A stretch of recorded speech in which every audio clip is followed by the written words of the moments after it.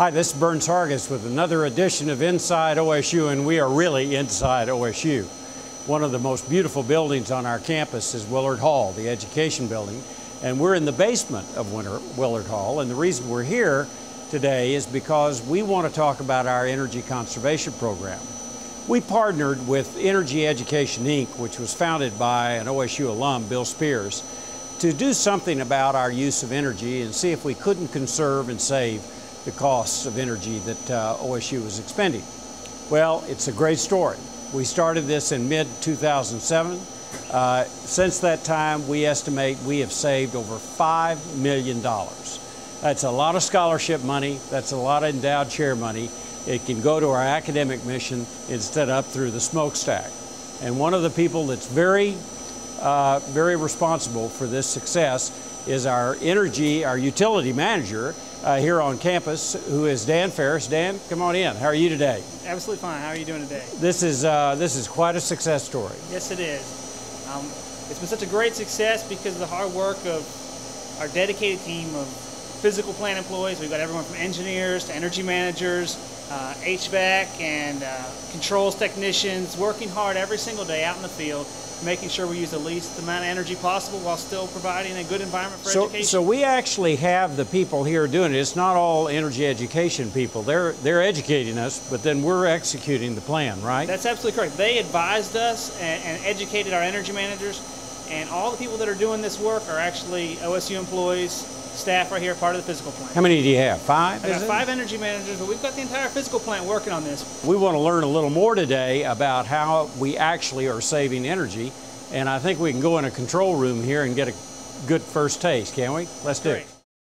In Willard Hall, we have the privilege of 65 fan coil units plus four major air handlers. And I'm able to take the schedules for each one of those rooms and schedule each one of these fan coil units to go with whatever's going on in those spaces. So for instance, right here where you see that this one is off and this one is off and this one is off, that means those aren't running right now and therefore we're saving energy in those spaces so because not, there's nothing we're not on. heating or cooling those rooms Right. Because there's no classes Because there's on. nothing in there. There's nothing so, going so on. So like if a class started, uh, you know, in 15 minutes, would you turn it on when the class started or 15 minutes before? No, sir. I would. I try to plan that at least an hour to an hour and a half ahead of time to make sure those spaces are comfortable, so that the idea is that when people come into the spaces, they, they don't even know that we've ever turned it off. It's yeah. just not being used when no one's in the space. That's so, the goal. So it looks here to me like well. There's several that aren't being used, but most of the classrooms are being used right now. We're in the afternoon. Mm -hmm. Uh, but uh, but then at night, you what happens? Do they all go off? well, one of my favorite things to do is come in here about 10 o'clock at night. And at 10 o'clock at night, a lot of them are already down, but as soon as it hits 10 o'clock, they start popping off. So I can just watch the lights start going down. Then I walk through the building and verify that those units have indeed gone off and there's no disconnect between the electronic management system and what's going on down here in the control room. So, so for an energy person, seeing energy go off is a real exciting it's thing. It's exciting. yeah, it's very exciting. That's great. Now, I understand that this is sort of state of the art and we don't have this all over campus. We don't have this all over campus. This is very unique to Willard Hall, but I kind of wanted to brag about it because so, I think it's really neat. So we need to be a little more creative with a lot of our other buildings? A lot of our other buildings are multi-zone systems. In this building, we have you know one fan coil unit that serves several rooms, so I can work with those specific spaces, but many of them, it's an entire floor that is served by one air handler, and that, that makes it a little more challenging. But you can, you can shut down everything mm -hmm. but that floor, right? right? Exactly. Which is a savings. Right. So if we have, for instance, I have classroom building, so after four o'clock, I mean, on the fourth floor, after the computer labs go down, I can shut that entire floor down because there's nothing going on after they close at nine. And so, Dan, you, we're constantly monitoring these, these so that we can coordinate and be a little more effective. That's absolutely correct. I mean, we have fine-tuned our schedules as much as we can, and we're continually trying to fine-tune them so that we are shutting down as many units as we can across campus that aren't being used. But you're you're reacting to what you're hearing from the from the academic side. You're not telling them when they can use those. Oh, by no means, we're not trying to interrupt uh, the educational mission of the university whatsoever. We're just trying to not waste energy when it's not needed. Well, a student in this classroom wanted me to shut off the uh, air handlers so that they don't have to take this exam. So could you mind if I just... No, you okay. Well, we're going to go to another building that is a huge challenge, which is the, uh, the Noble Research Center with all the windows, and I think you'll find that very interesting.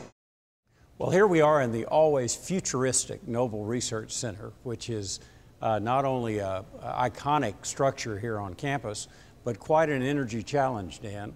That's correct. And we're here with the rest of our energy manager team. We've got Patrick Wheeler. You've already met Jenny. We've got Dennis Byford, Tammy Johnson, and Casey Ashley. And this is Casey's uh, facility for her to do Oh, the energy so this management. is your problem, This Casey. is my building. We have not only office spaces in this building, but this is a heavily research building. That most of the facilities um, in this building are research facilities. So you can't just shut something down and a whole experiment goes to pot. That's exactly right. One of the first things as energy managers that we did is we came into the different types of research facilities on campus, evaluated them, and really made some careful decisions about what could and couldn't be done as far as um, gaining some energy savings. Typically, a lot of window ex, uh, exposure Mm-hmm. Creates energy problems. It can. Um, you can see this building, we have a lot of natural lighting, which we try to take advantage of as much as possible, not only in this area, but throughout the entire building. There's many hallways where we can utilize that natural lighting.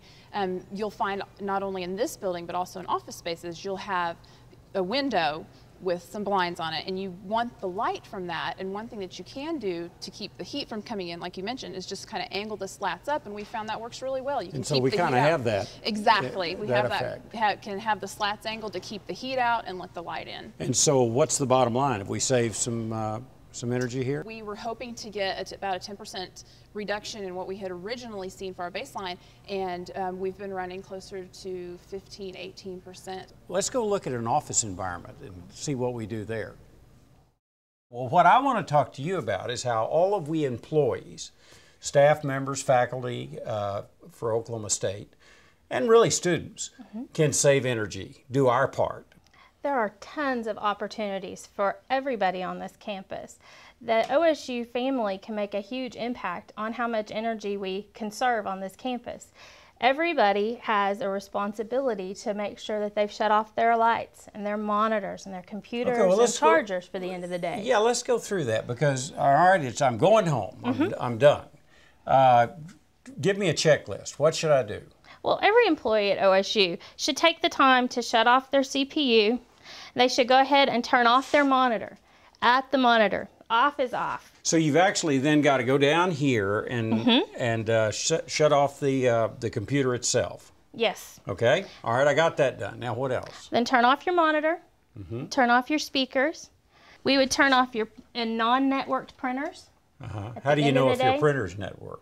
If your printer's in your office, it is very likely your personal printer. If you have a network printer, more than one person can print to it at Okay. a time. Got it. All right. What else? We would also take the time to turn our blinds up, which you've done very well here. Turn the slats up at the end of the day. That keeps Not out down. not down. We're going to try to keep out as much radiant heat as we can, especially in these coming summer months. Okay. Now, can you leave a, a lamp? Doesn't draw much, does it? Well, it draws enough that we need to turn it off at the end of the day. Really? Yeah, and also that charger should be unplugged as well, Well, it's not charging. but it's still drawing energy. Really? Yes, it is. See, I didn't know that. I thought when it wasn't energizing, it uh, wasn't drawing any energy. No, every charger, your computer chargers, your phone chargers, all of those things. And you know, students, this is the same thing for them. And these power strips, I have a power strip down here. These power strips are a great little tool. If you have a bank of things, especially in, in the residential life facilities, if you're living in one of the apartments and you have your whole TV stereo system all plugged into a single power strip, you can just turn off that power strip rather than unplugging each item. Now, I know some people think it's kind of a pain in the neck to have to bring up the computer every time you want to get on it, but it really is making a big difference. It really does make a big difference on this campus. The more we see our staff, faculty, and students get involved, the more savings we're seeing. This is an incredibly important initiative. We talk a lot about environmental consciousness, uh, about recycling, uh, renewable energy. Uh, nothing's more renewable than saving it in the first place. So, that's another episode of Inside OSU. Tammy, let's shut this place down and get out of here. you get like the lights.